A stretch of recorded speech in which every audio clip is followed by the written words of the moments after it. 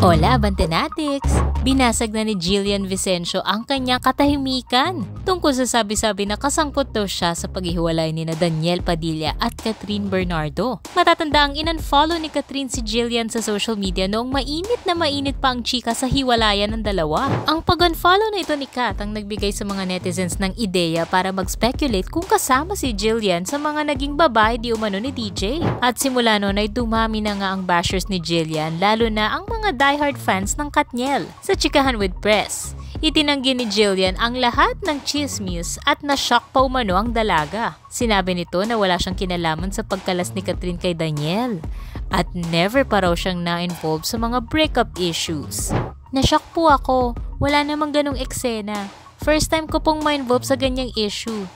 Sabi ni Jillian. Wala raw siyang kamalay-malay kung saan nagmumula ang mga kwento at sinubukan pa nitong mag-message kay Catherine pero hindi pa sila nakikita ng personal simula noon. Hindi ko po alam kung saan galing yan. Nag-message po ako sa kanya at hindi pa po kami nagkikita ng personal ulit. Papayag naman ba si Vicencio kung sakaling may mag-offer ng project kasama ni na Catherine at Daniel? Sumagot agad-agad itong si Jillian ng, Project lang yun, kailangan ng pera, oo naman, wala naman kaming mali siya. Nilinaw rin niya na wala silang komunikasyon ni DJ, taliwas sa mga ulat na naglilink sa kanilang dalawa. At noong magkakatrabaho sila ay nag-uusap lang sila as a group at wala raw private meetings na nangyayari. Hindi na po kami nag-uusap, matagal na rin po kaming hindi nag-uusap pagkatapos ng taping. Nung taping lang talaga kami nakakapag-usap bilang grupo. Naging parte si Jillian sa Katniel series na Too Good To Be True na pinalabas sa ABS-CBN mula May hanggang November 2022.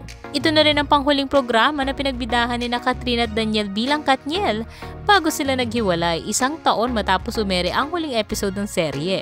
Inamin din ng baguhan sa showbiz na naaapektuhan siya pag may mga nagsasabi o nagpapakalat ng mga mali at negatibong balita laban sa kanya. Halos matroma na rin daw ang kapamilya actress.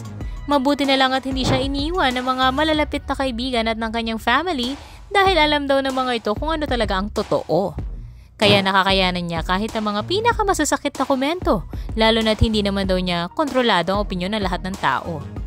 Hindi maiwasan na matroma ka, hindi ko na maalala yung pinakamasakit na komento kasi madami po. Siyempre, maapektuhan ka talaga. Hindi maganda yung sinasabi, pero salamat sa pamilya at mga kaibigan ko na hindi ako iniwan, kaya medyo okay-okay naman po ako ngayon. Ano sa palagay nyo? Naniniwala ba kayo na hindi sangkot si Jillian sa hiwalayang Daniel Padilla at Catherine Bernardo?